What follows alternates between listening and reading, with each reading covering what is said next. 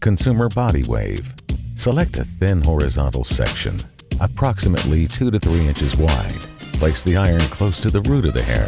Wrap side by side, never overlapping, from root to tip.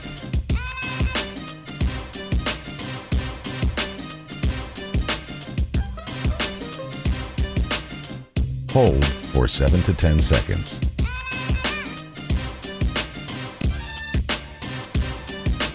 Release hair at the tip. Slide iron back to the root, catching the hair in your hand to cool. Pull the tip of the hair and stretch it out to loosen. Switch hands and repeat on the other side of your head. To do the back of your head, select a thin horizontal section, approximately 2 to 3 inches wide. Place the iron at the back of your head, slightly pointing down, wrap side by side, never overlapping, from root to tip.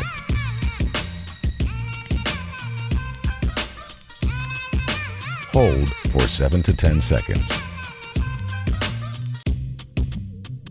Release hair at the tip. Slide iron back toward the root, catching the hair in your hand to cool. Pull the tip of the hair and stretch it out to loosen.